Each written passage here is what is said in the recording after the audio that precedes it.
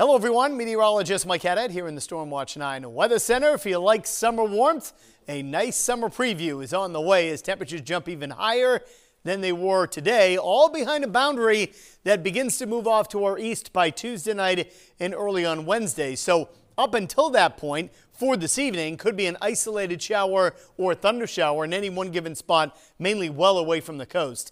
And then during the day tomorrow, this front moves on in, could trigger a shower thunder shower in northern New Hampshire at any point during the morning and early afternoon, and a brief shower thunder shower south during the late morning and afternoon. But many dry hours on a partly sunny and mild Tuesday. Beyond that, here we go, well into the 80s for some, especially away from the coast during Wednesday, Thursday, and possibly Friday, and if all works out just so, during part of the upcoming weekend. For tonight, We'll call it partly cloudy overnight after any evening shower does dissipate. Tomorrow, slight chance of a pop-up shower, thunder shower, otherwise partly sunny, a little bit breezy, near 70 north and mid to upper 70 south. With enough sun, we could hit near 80 in the lower part of the Merrimack Valley. Moving ahead to Wednesday, it turns even warmer after a comfortably cool start, mostly sunny skies.